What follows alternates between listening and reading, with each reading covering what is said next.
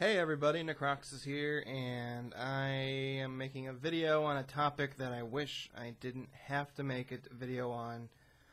Um, because even though, you know, I love being right so much, is the stereotype people who disagree with me like to say.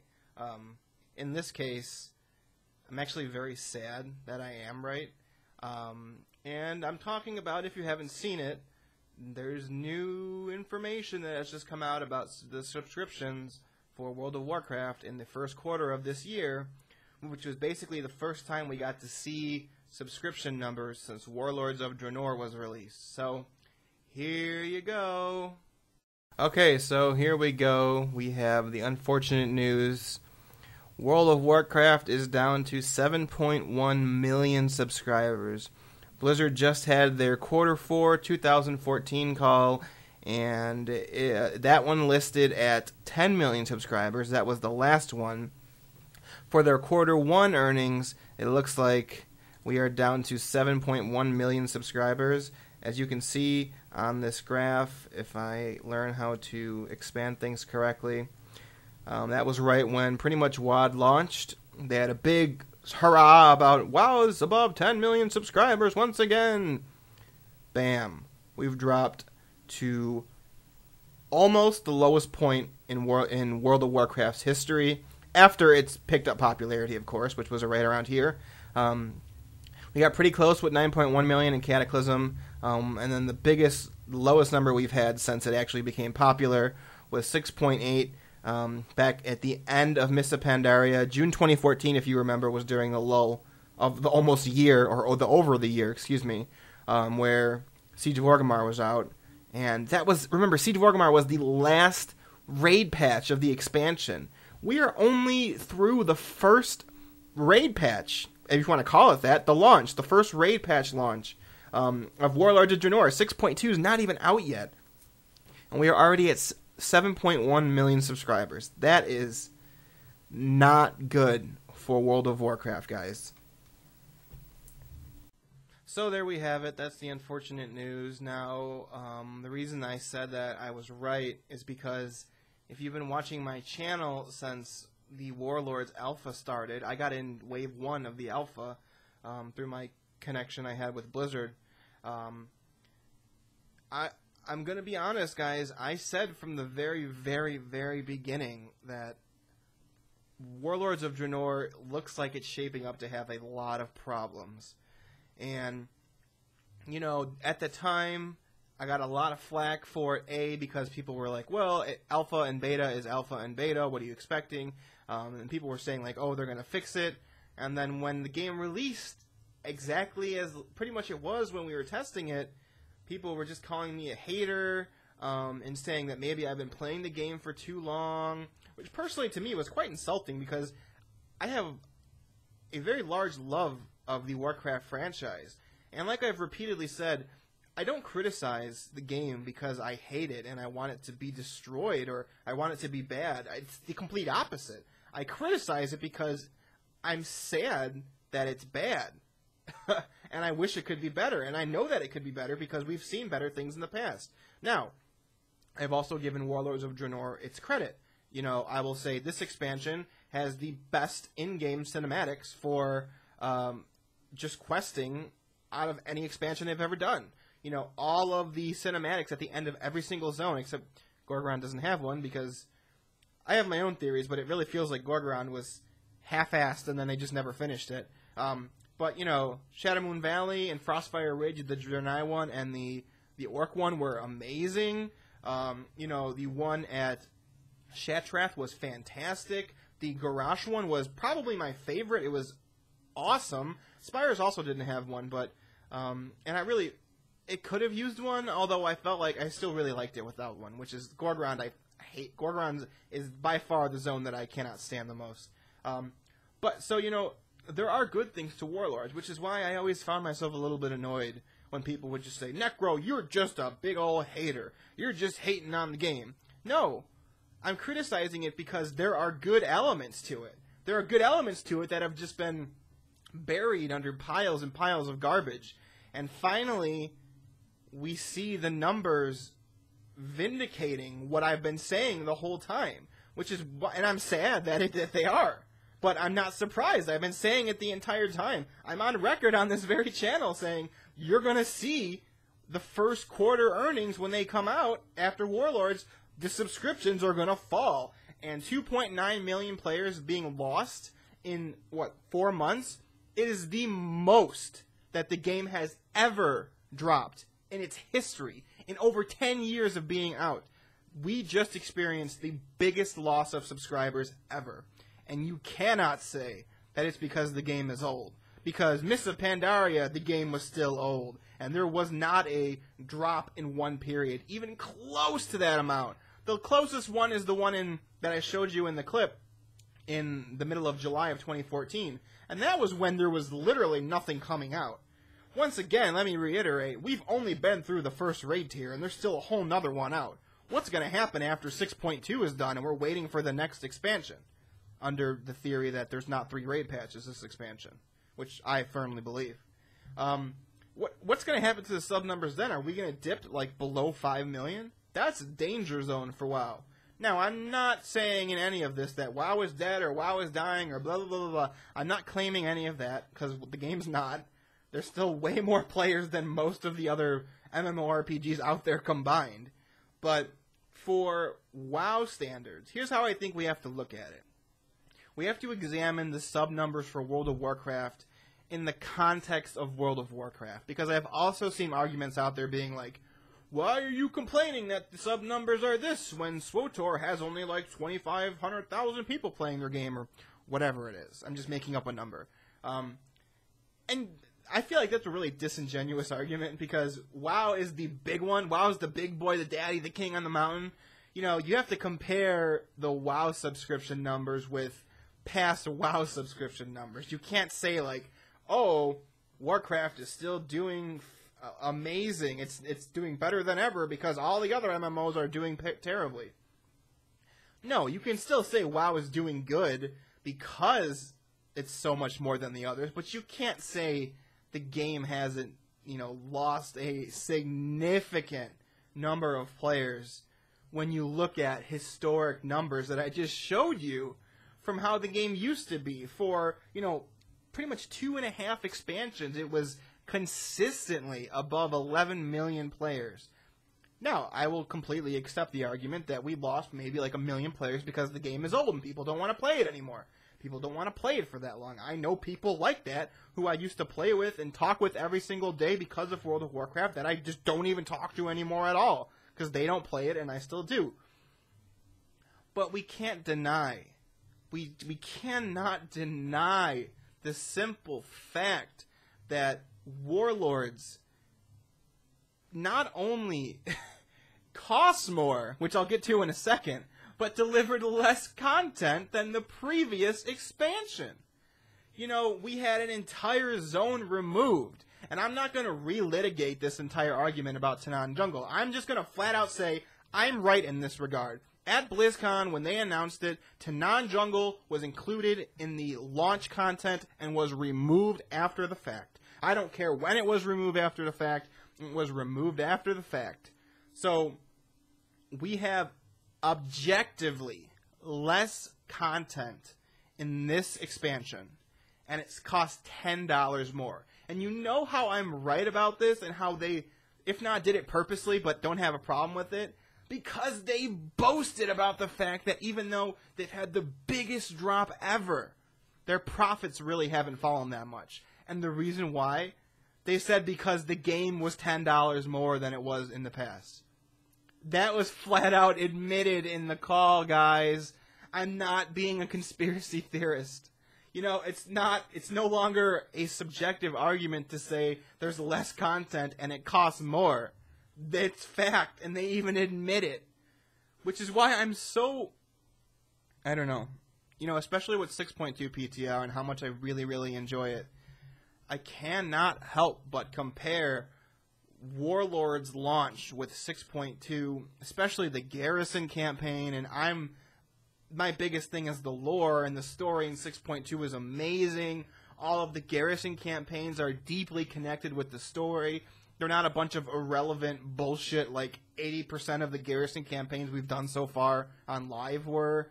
You know, Tanaan Jungle looks amazing, blows every other zone out of the water, in my opinion. I haven't personally done any of the raid fights, but I've watched every single testing one, and for pretty much every single one of them, except Kilrogg Deadeye, which is kind of disappointing, um, but his is still really good. But out of all of them, except maybe Kilrogg, they look miles better than anything that I've done in 6.0, and I've rated both instances on non-LFR difficulties. Like my guild right now, I believe we're 4 out of 10 in Heroic.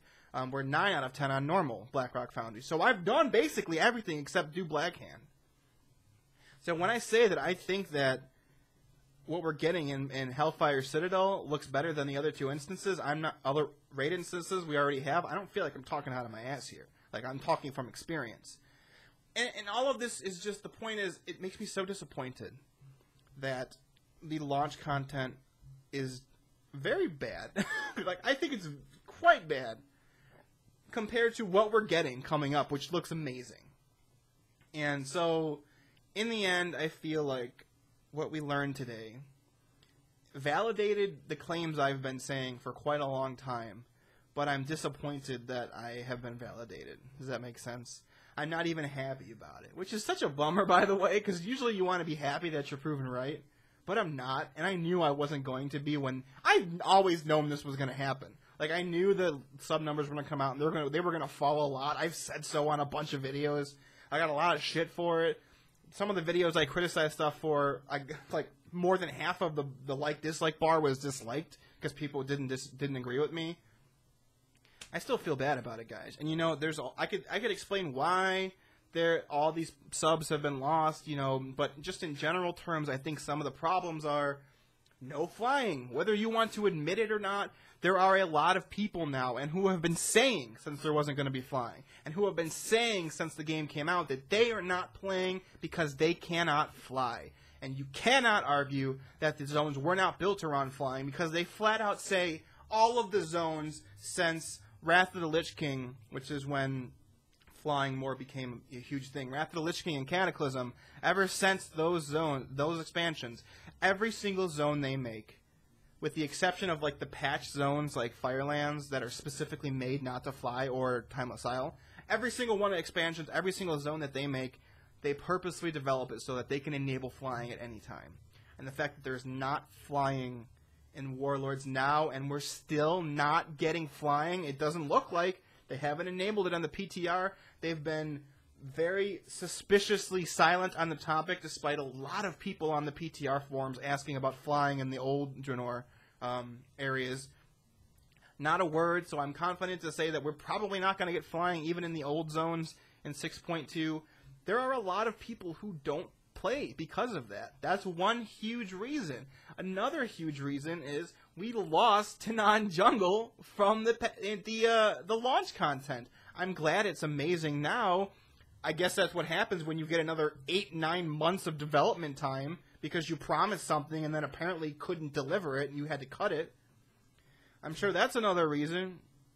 The Facebookification, I would I would say is the term, of a lot of Warlords of Draenor features is a major turnoff to a lot of people. Maybe not to have I'm sure most people who have the problem now of the Facebookification, they bought the game and they subscribed, but they a lot of them dropped off very very fast when they realized that garrisons were basically a giant Farmville game where no matter what you did, it was a time sink. You could not progress no matter how long you played because there was real time gates of real time amounts, not in-game stuff that you could fast forward or skip. Real in the real world time gates for most, if not every single garrison feature that exists. And that is something I cannot say has ever been done in any other expansion to even close a degree as was in Warlords. Mists of Pandaria had the farm, but you could just ignore the farm completely and never do anything for it.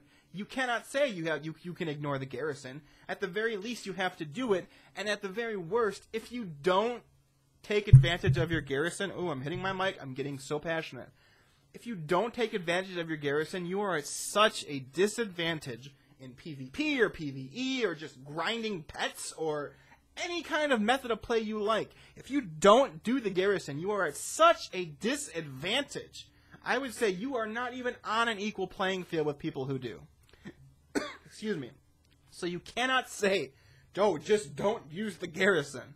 You cannot use the garrison. I just wouldn't even consider you on an equal playing field in any of those playstyles compared to people who do. So the Facebookification of the garrisons, and the garrisons aren't even the only thing that this has happened to. You know, we have the reputation factions, which have been removed and gone all the way back to the vanilla style of the only way you can gain reputation is by killing mobs in the world. We're not back in 2006, guys. That should not have happened, Blizzard. I have no idea how you could have possibly thought that was a good idea. How? You have the removal of daily quests in exchange of this Apexis daily grind, which again is exactly the same as the reputation grind. It's just killing mobs in the world. That isn't fun. That isn't innovative. That isn't something that would make me want to play with others.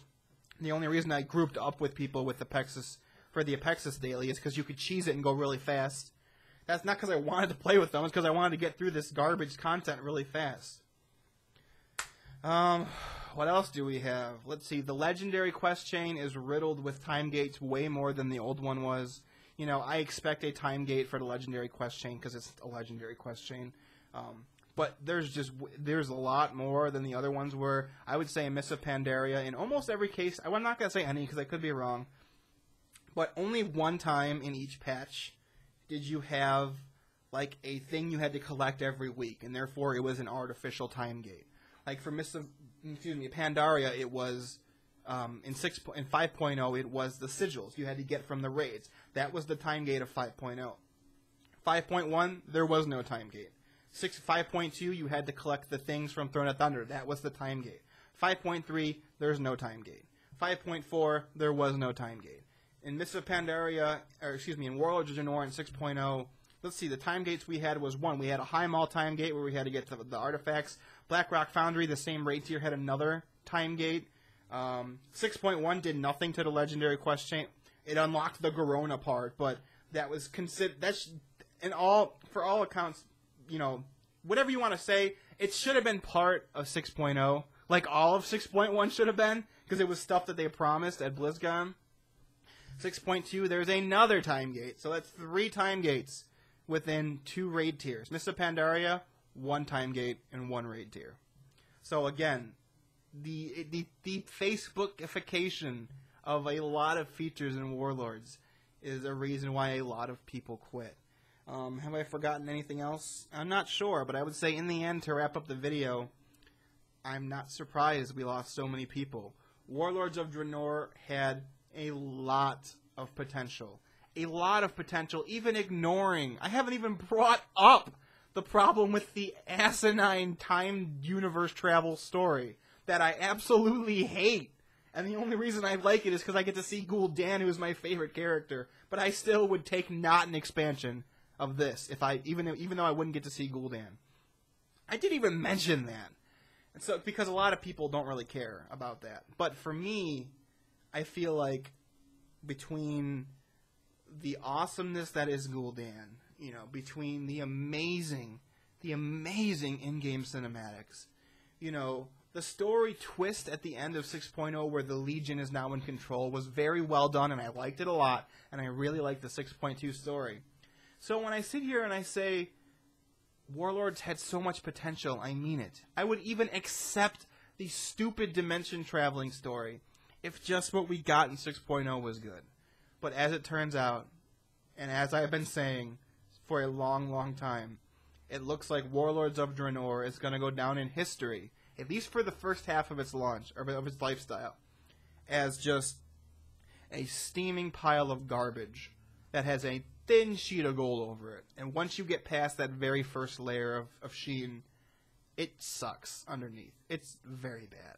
So I just wanted to make a little bit of a react video to the information we have about the sub numbers that just came out. Um, you know, I expect once again, anytime I criticize Warlords, I get flamed for all of these things, and even though I spent so much of this video talking about how I'm sad that the game is bad and not that I want it to be bad, or how I wish it could have been so much better because of the features that I really liked, I'm still going to get flamed and called a hater. You know, just be respectful if you do. I, I don't care at this point if you think I'm I'm being unfair to the game. Feel free to leave that response in the comments below. Just be respectful about it.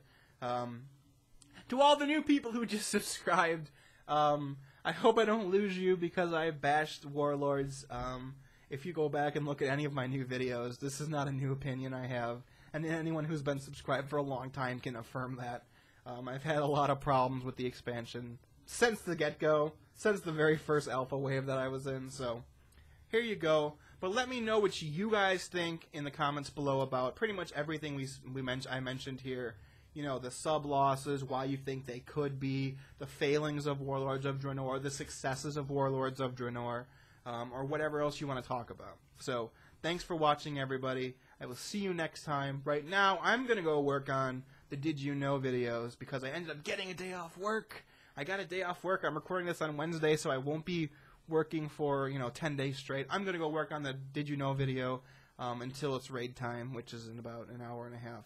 But uh, until then, I'll see you guys next time for more Warlords of Draenor content. Oh, in last video I said I was going to go check on the PTR if the Garrison campaign mission has been fixed. Still not fixed yet. I still haven't gotten another one yet. I think I'm stuck to where I need to complete this one before I'll get the next one. So hopefully there was just a new PTR pushed yesterday. Hopefully that's fixed it. I haven't checked yet. But um, yeah, that's just an update for you because I know I, I kind of left it on the idea of, oh, I'm going to go see if it's working now. It's still not. So I'm going to go check if it's working now after this video. Um, but until then, I'll see you guys next time. Thanks for watching. Stay awesome. Stay loving the lore. Because even though I have a many, I have many, many problems with this expansion, I still really love Warcraft's lore, um, and I just really hope that it can be better. Because I want to enjoy things. I want to. I want to like things again in this expansion. And you know, 6.2 gets me really excited. From one of the biggest reasons is because I really like it. So um, I just hope, I just hope, I hope they keep it as good as it is on the PTR. But until then, you guys, I will see you next time for either a Garrison campaign on the PTR or a uh, Did You Know video coming this weekend, hopefully. But until then, I'll see you next time, and stay awesome, and uh, yeah, farewell.